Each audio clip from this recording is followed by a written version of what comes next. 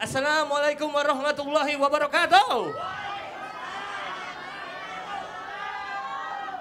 Suara lu gede banget. Suaranya gede, tenaganya kuat. Gue curiga tadi pagi sarapan power bank lo. Suara semangat banget minum lo air aki. Cemilan lu baterai A3. Buset lu orang apa remote? Saya mau nyapa-nyapa dulu yang ada di sini. Apa kabar semuanya? Semoga yang ada di sini sehat-sehat semaunya. Semuanya, semuanya. Semuanya, kenapa gue bilang semaunya? Karena kesehatan itu berawal dari kemauan kita sendiri, betul nggak? Kalau kita mau sehat, jaga kondisi. Kalau kita mau cakep, jaga penampilan. Kalau kita mau kaya, jaga lilin.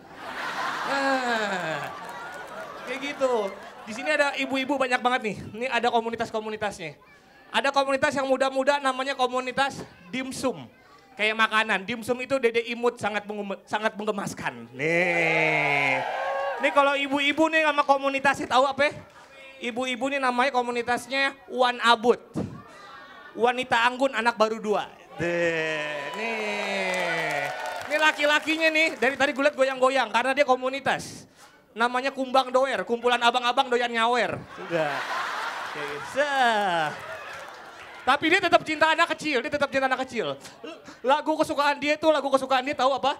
Dia lagu Saskia Gotik featuring Joshua. Judulnya satu jam diobok-obok. Nah, gue tahu banget tuh lagu kesukaannya. Pada ketawa semua. Nih para pedagang di sini hati-hati ya, karena ibu-ibu kita di sini, ini adalah pembeli-pembeli yang wajib diwaspadai. Karena tipikal pembeli itu ada dua macam. Yang pertama adalah BPKB, pembeli BPKB. Banyak pertanyaan tapi kagak beli. Ini alirannya K-pop. K-pop itu bukan musik Korea. K-pop itu berawal K-pop, ujung-ujungnya PHP. Pertama masuk ke toko. Sah. Yang itu berapa mbak? Yang ini? Tuh yang itu, oh itu CCTV nggak dijual bu. Oh iya maaf, maaf, maaf. Eh, oh ya udah, kita pedagangnya udah menjelaskan ya kan, ujung-ujungnya jawabannya sama. Maaf ya, saya mau keliling dulu. Dulu bayangin perasaan pedagangnya. Kesian nggak pedagangnya? Kesian kan? Nah, ada lagi yang kedua. Ini namanya STNK. Pembeli jenis pembelinya ada STNK. STNK itu adalah sindikat tante-tante nawarnya kejam. Ini siapa nih? Ini kalau tante-tante jenis ini nih, dia nawar nggak setengah-setengah, lebih dari setengah. Misalnya harga barang 50 ribu, dia nawarnya bukan 25, 15 ribu. Ada yang kayak gini ada? Ah, ada lah semuanya. Karena wanita itu dari lahir diberikan bakat, bakat nawar. Dia punya senjata andalan, senjata andalannya apa? Pura-pura ngambek, pura-pura pergi. Bang ini berapa bang? 50 ribu, 50 ribu bu. Ih 50 ribu 15 deh. Waduh nggak bisa bu, 35. 35 nggak bisa 20. Nggak bang ya udah pura-pura ngambek tapi slow motion. Ih ya udah deh. Nunggu dipanggil abangnya, nunggu dipanggil abangnya. Ibu, ibu, ibu. Ibu-ibunya senang kan, pasti abang-abangnya mau nih. Set, abang-abangnya jawab, ibu pergi barang saya jangan dibawa, gua maling. Tapi luar biasa ya, sebelumnya saya perkenalkan dulu nama saya Kimau. Nama saya Rizky Maulana sebenarnya, cuma itu standar nama nasional ya, nama Rizky banyak, nama Maulana numpuk. Jadi nama saya tengah-tengahnya aja Kimau, tapi kalian bisa manggil saya Rizky, bisa manggil Maulana, bisa manggil Kimau, Mauki, Lala, Nana, seterah manggil apa aja saya nengok, asal jangan dipanggil Tuhan, saya belum siap. Saya mau bahagian orang tua dulu, Bu. Ya, saya ini orang Betawi, saya dari kecil dibesarkan di Jakarta. Karena saya dibesarkan di Jakarta, saya berevolusi seperti ini. Jadi orang Jakarta, badan gede kan ondel Ya kan? Rambut berdiri kayak Monas. Muka susah dicake kerak telur. Tapi yang pasti hati saya bukan kayak roti Betawi, hati saya bukan buaya. Nah, justru pacaran sama orang Betawi, boleh tepuk tangan.